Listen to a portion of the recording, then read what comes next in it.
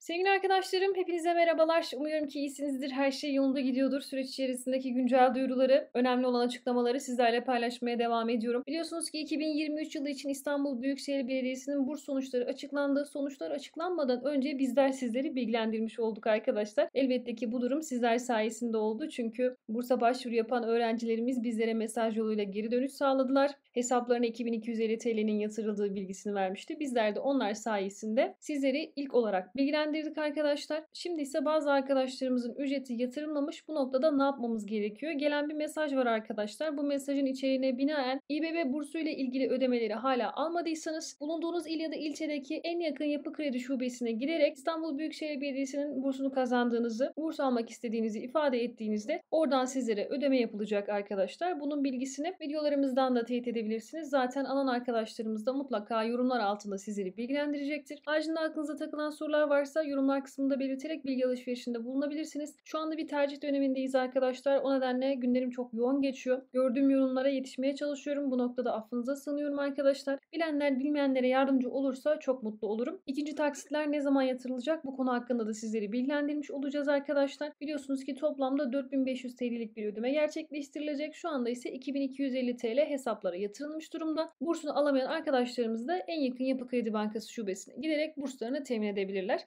Diğer videolarımızda görüşene dek kendinize çok çok iyi bakın. Hoşçakalın.